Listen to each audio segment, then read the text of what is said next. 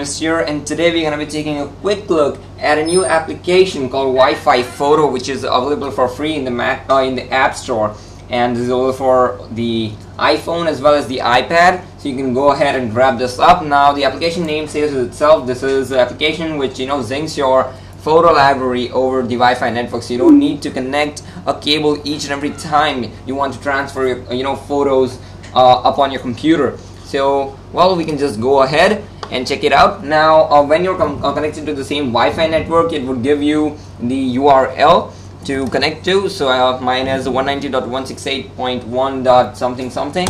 So let's uh, get it in. And as you can see here my library popped up. So photo library and camera roll. I'm gonna go into camera roll and uh, you know I'm gonna show you which sizes and everything is available so you can download the whole content in a .zip file if you want to. Well, you can choose among the photos that are loaded up. So I'm going to be taking a quick look at my, you know, setup.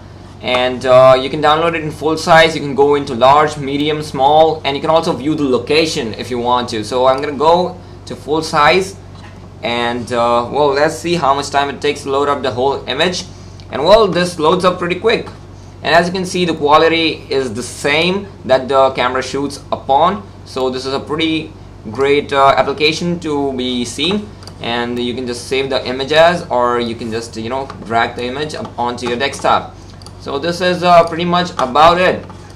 And uh, this is a great application if you want to you know uh, save your or transfer your photos up from your iPhone or iPad to the computer itself without you know connecting some kind of cable or something. And it's available free in the App Store so go check it out. And uh, if you haven't already do remember to subscribe to the channel by clicking the subscribe link above this video and thumbs up this video if you liked it. Leave a comment below if you have any. And uh, well until next time I'll see you guys later. Peace